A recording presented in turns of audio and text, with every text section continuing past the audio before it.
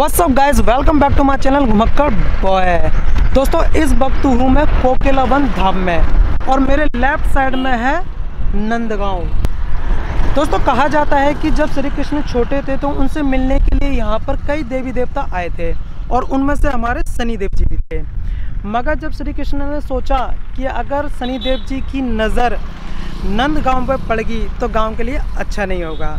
तो इसीलिए श्री कृष्ण जी ने शनिदेव जी को यहाँ पर रोक दिया और उनसे मिलने के लिए यहाँ पर कोयल वन कराए और तब से इस जगह का नाम कोकिला वन धाम पड़ गया।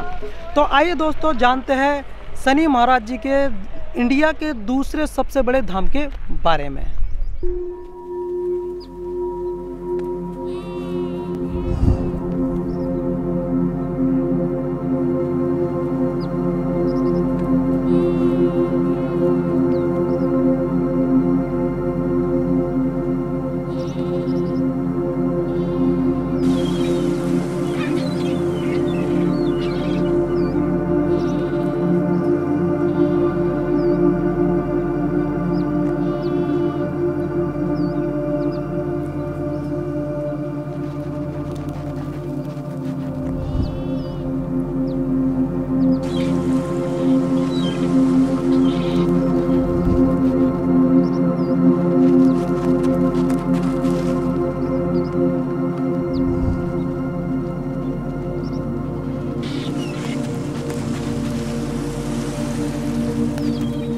दोस्तों, जैसे कि मैंने आपसे कहा था, भगवान श्री कृष्ण शनिदेव जी से यहाँ पर कोयल बनकर आए थे और तभी से इस वन को कोकिला वन कहा जाता है। और तभी से भगवान श्री कृष्ण ने शनिदेव से यहाँ प्रजमान होने के लिए कहा था।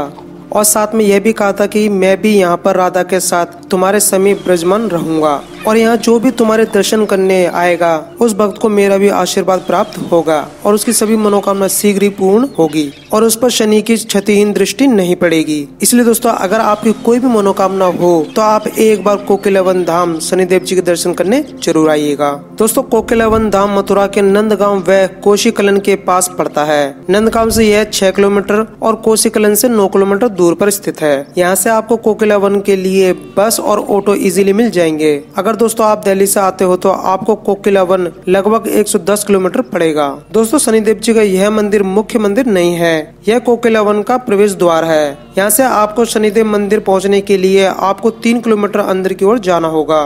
पहले यहाँ पर कच्ची सड़कें हुआ करती थी, मगर अब शानदार सड़क बन चुकी है। यहाँ पर अधिक मात्रा में लोग दर्शन करने के लिए शनिवार को आते हैं। यह मंदिर भक्तों के लिए 24 घंटे खुला रहता है। शनिवार के दिन कोसी रेलवे स्टेशन से शनि मंदिर तक डायरेक्ट ऑटो चलते हैं और वह आपसे प्रति व्यक्ति बीस रूपए चार्ज करते हैं। आम दिनों में कोसी से ऑटो प्रवेश द्वार तक छोड़ते हैं, जिसके वह आपसे दस रूपए चार्ज करते हैं और फिर यहाँ से मंदिर तक दूसरे ऑटो वाले आपसे दस रूपए चार्ज करते हैं। अगर आप चाहो तो पैदल भी जा सकते हो। दोस्तों, इस मंदिर के ठीक सामने एक शनि ढाबा भी है। यहाँ पर आप अगर रात्रि में आते हो तो यहाँ पर आप स्टे कर सकते हो। आपको यहाँ पे चारपाई और बिस्तर दो सौ रूपए में मिल जाएँगे और खाने पीने फ्रेश होने के लिए यहाँ पर सभी सुविधाएँ मौजूद है। यहाँ से चलकर आपको मंदिर पहुँचने से एक किलोमीटर पहले ही परिक्रमा का बोर्ड नज़र आ जाएगा। यहाँ से आप शनिदेव जी की परिक्रमा लगा सकते हो। यह परिक्रमा करीबन तीन से चार किलोमीटर तक पड़ती है। दोस्तों, कहा जाता है, अगर आपने यह परिक्रमा सच्चे मन से पूरी की तो आपकी हर मनोकामना पूरी हो जाएगी। परिक्रमा के स्टार्टिंग पर ही यहाँ पर हनुमान मंदिर भी है।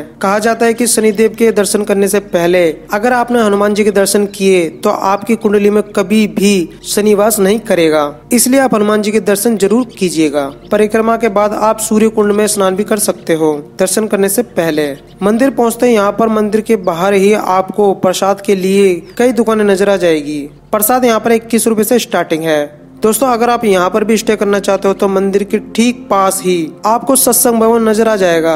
यहाँ पर आपको 400 से 500 रुपए तक में रूम मिल जाएँगे और इसके आसपास में आपको 200 रुपए में धर्मशाला भी मिल जाएगी। तो चलिए दोस्तों, दर्शन करने से पहले शनि मंदिर और कोकिला वन के देखते हैं अद्भुत नजारे।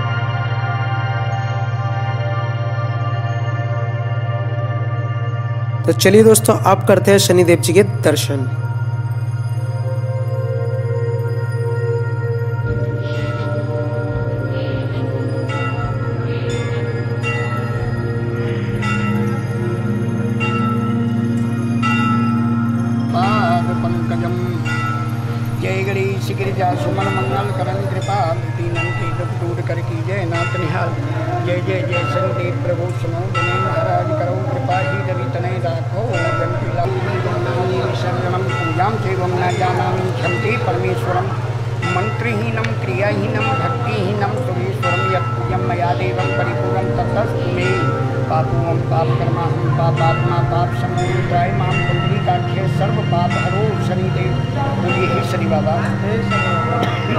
हम पर हम पर हमारे परिवार पर हमारे पर कृपा दृष्टि बनाए रखना। कृपा दृष्टि बनाए रखना। हमारे घर में हमारे घर में सुख शांति प्रदान करना सुख शांति प्रदान हमारे कारोबार में हमारे कारोबार में उन्नति करना उन्नति करना बोलिए शनिदेव भगवान की जय।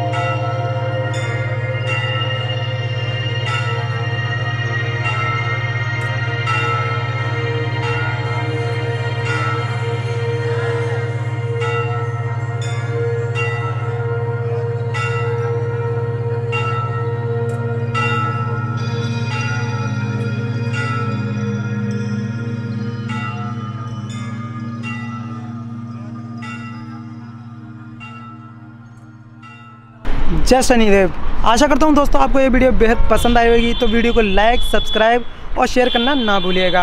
और कमेंट में जय शनिदेव बिल्कुल भी लिखना ना भूलिएगा। तो चलिए दोस्तों, जब तक के लिए टूरिस्टों की रिस्पेक्ट कीजिए टूरिस्ट प्लेस पर उनकी ना फैलाइए।